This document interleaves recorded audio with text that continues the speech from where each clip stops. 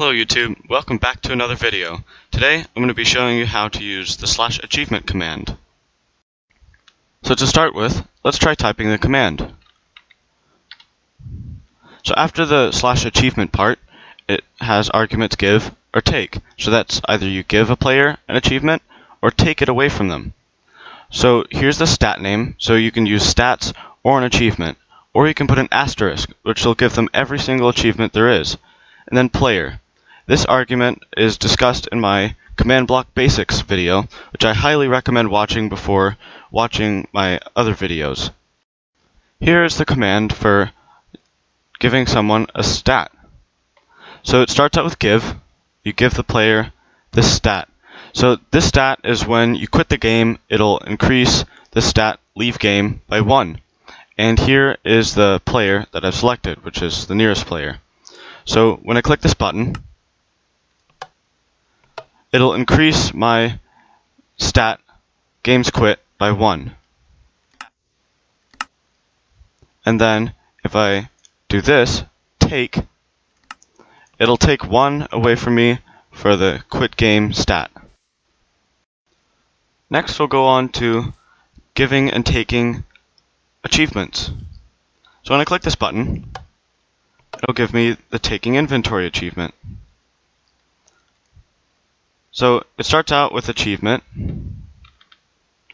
and then the next thing after the dot is which achievement you want to give them. So I gave myself the open inventory achievement, which is taking inventory. So I'm going to take all of my achievements away right now, which I'll explain later in the video.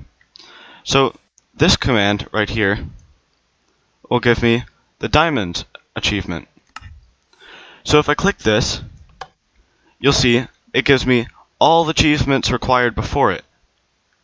So if I check my achievements page right here, it'll give me every single achievement that I could ever need to achieve that.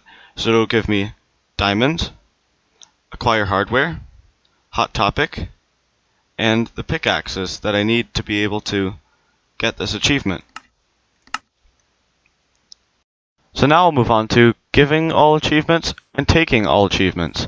So in here, achievement, give, and then an asterisk would mean that it gives me every single achievement in the entire game. So when I click this button, it gives me all the achievements, everything. And then if I click this button to take everything, it'll take all the achievements that I had. Unfortunately, the asterisk does not work with stats, it only works with achievements. So you can only give and take achievements, not stats. So stats, you'd have to use this. Thank you everybody for watching. There will be a full list of all the achievements and stats that you can give to players down in the description. And please leave a comment if you think I left anything out of this video. And be sure to like and subscribe.